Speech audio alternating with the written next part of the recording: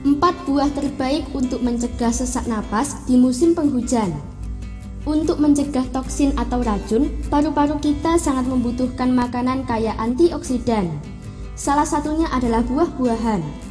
Selain untuk mencegah toksin atau racun dalam tubuh, manfaat buah-buahan juga bisa mencegah serangan sesak napas yang rawan terjadi di musim hujan karena udara dingin.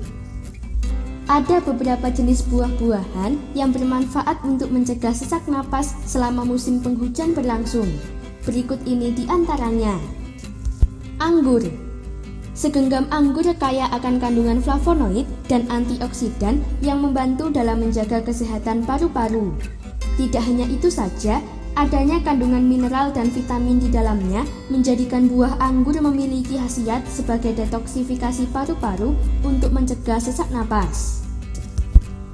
Apel Buah apel kaya akan kandungan nutrisi, flavonoid, antioksidan, dan berbagai vitamin yang dibutuhkan.